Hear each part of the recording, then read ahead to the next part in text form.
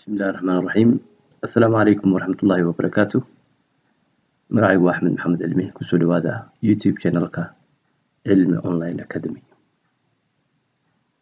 وحن يقول ودنا وحوي كورس كيني مايكرو إيكونومكس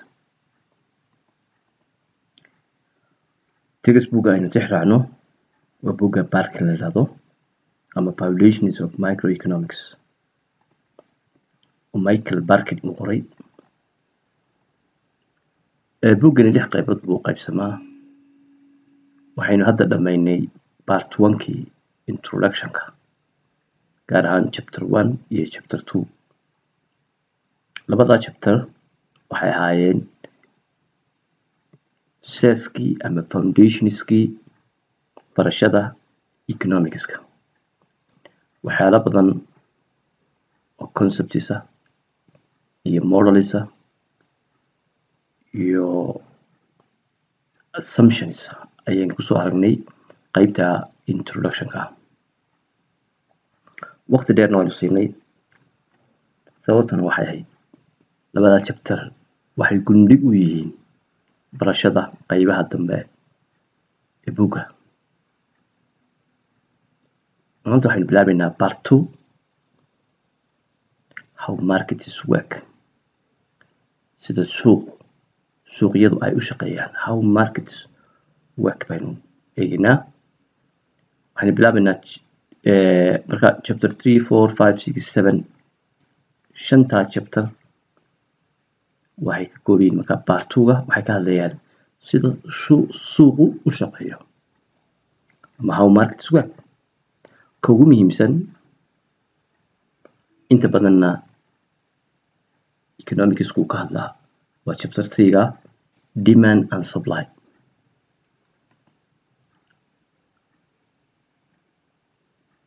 Cashirka maanta aynu qaadanayna waa cashirka koowaad ee chapter three demand and supply. Waxay ka mid yihiin modeliska economicska ee ugu waaweyn ama ugu muhiimsan. Chapterkan waxaynu ku eegi doonaa waxaynu ku baran doonaa describe competitive market and think about price as an opportunity cost. Explain the influence on demand. Explain the influence on supply. Explain how demand and supply determines prices and quantities bought and sold. Use the demand and supply model to make predictions about changes in prices and quantities shantaa arrimood ayaynu chapterkan ku eegi doonaa oo aada u muhiim ah markets and prices intaynan supply iyo demand u tegin market horeynu soo sharaxnay waa arrangement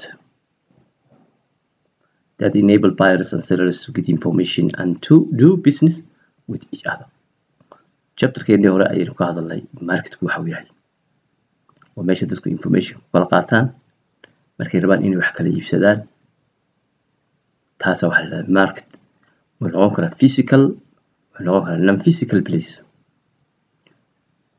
okay prices qiimayaasha waa wax aynu maalin kasta inagu samayno wax baynu iibsanaa waxaanaynu iibsanaa wax kastaaba price bay leeyihiin ama qiimay leeyihiin haddaba maxaa determine gareeya ama keena priceskaasi in shaygaa intaa lagu iibiyo? When you need a new pair of running shoes markaad u baahato inaad kaba iibsato running shoes kabaha lagu ordo sportska want a bagel and a late aad doonayso masalan roodi iyo wax la mid ah waxyaalaha la cuno weeye. Sharaabiya baa laga yaabaa inay yihiin roodida plan to upgrade your cell ama aad doonayso inaad teleefonkaaga gacanta upgrade ku sameyso. Ama need to fly home for thanksgiving. Ama gurigaagii aad ku noqoto iyo reerkaagii iyo waddankaaga. You must find a place. Waa inaad heshaa meel where people sell those items ay alaabooyinka aynu sheegaynay ay ku iibiyaan or over those services ama adeegyada ay ku bixiyaan. Means wax kastaa suuq bay leeyihiin. Kabuhu suuq bay leeyihiin. Baaladani suuq bay leeyihiin. Taleefanadani waxani suuq bay leeyihiin. Waxaas oo dhan mid kastaa suuq buu leeyahay. Oo ay sellerskii iyo buyerskii interaction ku sameeyaan information ku kala qaataan the place in which you find them is a market. Halka aad ka helayso waxaas ayaa la dhahdaa market. Waxyaalaha aad u baahan tahay ad rabto inaad iibsato meeshaad ka hesha ayaa waxa la market. Marka marketka waxa weeye waa waxa noocaas oo kale ah. You learned in chapter 2 page 42 that a market is any arrangement. Waa habayn kaste ama isku dubarid kaste that enables buyers and sellers buyerska iyo sellerska awood u siinaya to get information inay macluumaad kala qaataan and to do business with each other. Oo ay kala ganacsadaan. Wadigii hore u soo waranay sayladda oo kale xoolaha lagu iibiyo. Sayladda waxaa soo iibinaya dadkii xoolaha iibinayey ee xoolaha xoolo dhaqtadii ama reer miyigii kuwii xoolaha doonayay magaaladun halkaas isugu tagaan. Halkaas waxay ku kala qaataan markaa information kii reer miyigaha wuxuu helayaa qiimuhu xooluu marayo. Ee uu badeecadiisa ku iibinayo. Isagu marka qiimaha ma goosanayo wuxuu doona suuqa laga suuqii baa xukumaya sidoo kale buyerskii dadkii xoolaha rabay inay iibsadaan iyana waxa weeye halkaasun bay ka helayaan informationka. Marka suuqa marketku waa meesha aad information ka helayso haddaad khudrad u baahan suuqii khudraddaa tegeysaa haddaad dhar u baahan suuqii bacad lahaa tegeysaa haddaad dahab u baahan tahay suuqa dahab lahaa tegeysaa marka suuqaasi suuq kastaba informationkiisii iyo sellerski iyo buyerskiisiiba halkaa interaction ku dhacaya a market has two sides marketku laba dhinac buu leeyahy buyers and seller marketku labadaa qolo kuwii wax gadanayay iyo kuwii gadayay ama iibinayay yani that means marketku maaha un buyers keliya marketku maaha sellers keliya marketkii labadan dhinac buu leeyahay. Waa labadii wax kala iibsanaya ama interactionka ama transactionka ama businessku uu dhex marayay there are markets for goods such as apples and hiking boots. Suuqyadiina waa kala duwan. Suuq baa waxa lagu iibiyaa. Khudrad oo kale. Mid waxa lagu iibiyaa. Bootska. For services such as haircut qaar waa ra'iislayaal suuq baa jira ra'iislayaasha ah inkastoo laga yaaba inay meel kuwada oo laakiin scattered ay yihiin tennis lessons baa jira casharada tennista suuq baa jira lagu barto. For factories of production factories of production land labor capital such as computer programmers laborkaasoo kale dadka programmada computerka iyo waxaa ku shaqeeya ama u sameeya programmada computerka suuq bay leeyihiin air movies movers kuwaa laftigoodu habilayna cagafyadii waxaa yihiin wax wax dhaqaajinaya riixaya and for other manufacturing inputs iyo waxyaalaha kale inputska warshadaha such as sida memory chipska iyo autopartska waxaasi every waxa aynu ka soo sheegen sheegnay oo mid kasta market buu leeyahay gaara dadkii sellerska ahaa iyo dadkii buyerska ahaa informationkii bay ka wada helayaan labadii dhinacba there are also markets for money such as japanese yen sarifkii oo kale ama lacagii qalaad suuqa sarifkaa tegaysa and for financial securities iyo sida masalan yahoo stock oo kale markaad doonayso share inaad shirkaddaa ka iibsato suuq buu leeyahay oo lagu iibiyo oo stock market la yidhahdo only our imagination limits what can be traded in market yani waxyaalaha inta waxee suuqa wax kasta oo la iibinaya suuq buu leeyahay marka qofku marku wuxuu u baahan yahay waa inuu suuqii tagaa informationkaasuu helaya marka ujeedadu leeyahay informationkaada mararka qaarkood waa online online baad ku heli kartaa informationka mararka qaarkood waa inaad meesha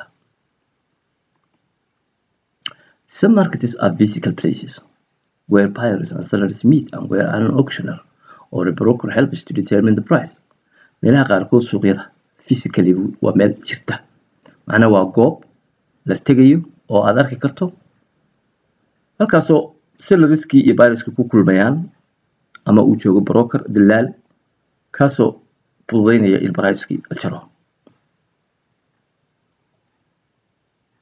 Marka ama marka tadminis waxa weeye qaarkood physically bay jiraan. Masala sariibada oo kale seylada xoolaha oo kale waa physical places wey examples of this type of markets are the new york stock exchange. Meesha shareska lagu kala iibsado ee mareykanka waa suuq shareska lagu kala iibsado. Waa physical place wey and the wholesale fish iyo kalluunka meesha lagu iibiyo meat hilibka produce product alaabada kasoo gasho beeraha waxaas oo dhan wax kasta suuq bay leeyihin bay leeyihin are groups of people spread around the world who never meet and know little about each other but are connected to the internet or by telephone and fax. Examples are the e-commerce markets and the currency markets. suuqyada qaarkood wuxuu yidhi adduunka ku kala filiqsan oo aan weligood kulmin oo is arag meel la isugu iman laakiin kala ganacsanaya iyagoo isticmaalaya markaa e-commerce oo kale ama e-buyga oo kale ama masalan telefon bay iyo fax bay isticmaalayaan ay wax ku kala iibsadaan ma kulmayaan halkan physical place bay had oo dadki way kulmayeen marka waxyaalahaas aan ku sheekan loo leeyahay waa suuqyadii iyo naturekoodii iyo dabeecadahoodii but most markets are unorganized laakiin meesha maxaa yaala suuqyada aynu kasoo sheegnaa badankoodu waa unorganized collections of buyers and sellers waa dad aan organize garaysnayn dad abaabulayn organize waxa waa ma abaabula buyerskii iyo sellersku mid kasta gaarkiis buu socdaa buyersku mid kasta gaar buu socdaa buyer buyer la socdaa ma jiro seller seller la socdaa ma jiro that means waxa weeye dadkani maaha dad wada hadlaya. Oo haddii alaba rooyahay sida mudaharaadka oo kale dadku ay israacaan isma raacayaan suuqaa la soo wada gelaya waa la baayactamaya qofna qof lama hadlayo qof qof wax ku weydiimayo sellerskuna qof kasta wixiisu iibsanaya. Marka that means waxa weeye suuqyada inta badan waa unorganized marka waa inaan taa maskaxda ku haynaa waayo arrintaas waxay naga caawinaysaa had iyo goor inaan hadhow fahmno supply iyo demand iyo pricekii.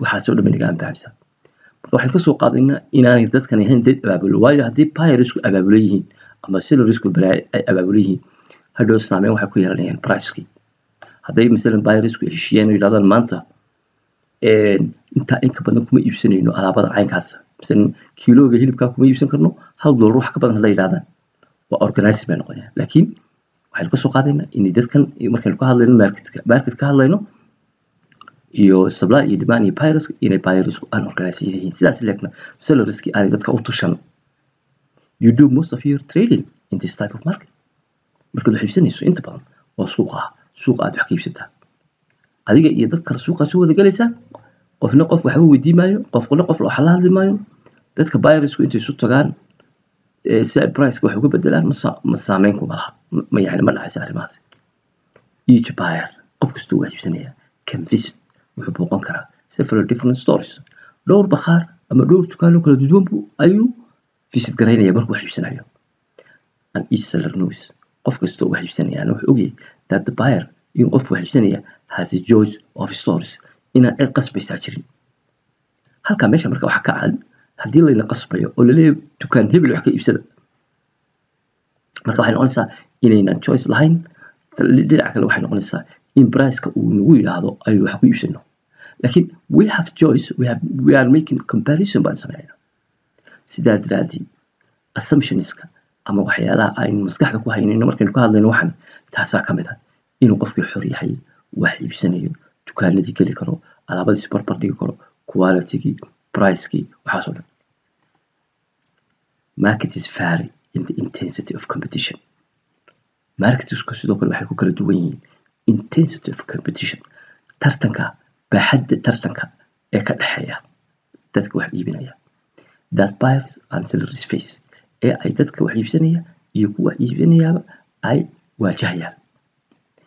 competitionka isku mid maaha suuq waxa weeye competitors yar baa ku jira suuq waxaa ku jira many competitors suuq waxaa ku jira waxaa ku jira hal competitor oo kaliya isku mid maaha suuqyadii oo hadha waxaynu arki doonaa market structureyada inuu jabtarada dambe ku arki doonaa ogaataa marketsku inaan isku mid ahayn masalan isgaarsiintoo kale waxaa laga yaabaa laba shirkadood ama saddex shirkadood ugu badnaan inay ka shaqeynayaan laakiin waxaa laga yaabaa in bakhaarada shirkadaha shirkadaha raashinka keena inay yihiin aada u fara badan yihiin marka taa laftigeeda saameyn bay ku yeelanaysaa competitionku intuu leegyahay ma aggressive competitors baa jira ma waxa weeye suuqu haddii alba ku leeyahay dhowr shirkadood baa ka shaqeynaya oo isfaham ka dhexeeyo oo aan tartamayn. Marka market is very intensity of competition. In badan economicska waxyaalaha ka hadli doona waa competitionka intuu leegyahay. Waayo shirkadda suuqa oo hal competitor jiro waa monopoly. Shirkadda masalan suuqa ay dhowr competitor jiraan waxaa la yidhaha oligoby shirkadda suuqa ay jiraan many buyers and many sellersna waxaa la perfect competition. In this chapter chapterkan we are waxaynu ku bari doonaa waxaa la competitive market maxay competitive market a market weye that has many buyers and many sellers qaar badan oo buyers iyo qaar badan oo sellers ayaa suuqaa jira hadduu yahay competitive market waa suuqa tartanka wey tartanka competitive waxa wey suuq tartan jiro wey so markaa no buyer no single buyer or seller can influence price u fiirsa meesha kusoo galay pricekii aynu ka hadlaynay markii ugu horreeyay kasoo qaaday maxaynu saa u leenahay many buyers many sellers waxa weeye dhammaantood yacni qof ah oo odhan kara aniga intaa in ka badan kuma iibsanayo ee halayga iibiyo. Iyo nin seller odhan anigu intaasaan ku iibinaya. Ma jiro oo influence saameyn ku leh the price. Waayo marka competitive marka waxaa la yidhahdaa noocaas oo kale waxa la price takers weeye. Iyagu priceka suuqaa goynaya iyaguma goynayaan marka waxaynu arki doonaa marketyada qaarkood buyersku ay leeyihiin awood waxaynu arki doonaa marketyada qaarkood sellersku ay awood leeyihiin oo ay saameyn ku yeelan karaan priceka laakiin kan imika aan ka hadlayno chapterkan ayaa la yidhi waxaynu ka hadlaynaa waa competitive market waa market that has many buyers and sellers producers over items for sale only if the price is high dadka wax soo saaraya oma suppliersku alaabada waxay iibinayaan haddii priceku is enough is high enough to cover their opportunity cost opportunity costkooda opportunity cost horeynu soo aragnay. Waxay tahay marka nimankaasi waxay eegayaan meesha opportunity costkoodii ka galay ma ka fargaraynaya mise ma ka fargaraynayo consumerskuna respond to changing opportunity cost by seeking cheaper alternatives. Nimankan consumerskuna had iyagu iyaguna waxay eegeen opportunity costkoodii opportunity cost waxay ahayd waxay hadaliba ku yahay how much waxa weye how much you lose and how much you gain markaan isu qaybino. Yani maxaad ka helaysaa maxaad si luminaysaa marka isbarbar dhigo? Ayay ahayd opportunity costki what you lose divided by what you gain. Marka consumer respond to changing opportunity cost opportunity costkaas oo markaa dhinac maa waa pricekii. Opportunity costka ayay ka jawaabayeen hadba isbeddelka ku dhaca by seeking cheaper alternatives. Waxay eegayeen had iyo goor cheaper alternatives waxyaala jaban oo opportunity costkooda uu yaraanayo to expensive items expensive itemska waxay ka doorbidayaan cheaper itemska we are going to study how people respond to prices waynu arki doonaa sida ay dadku uga jawaabaan priceska and the forces iyo iyo forceska that determine price waxyaalaha go-aaminaya ama keenaya priceska ee gooya in qiimaha lagu iibiyo shayga but laakiin to pursue these tasks si aynu arrintan aynu u aragno haddaba we need waxaynu u baahanay to understand inaynu fahmno marka hore the relationship xiriirka ka dhexeeya between a price qiimaha and opportunity cost iyo opportunity cost ashirkeena maanta halkaa inoogu joogo wasalaamu calaykum waraxmatullahi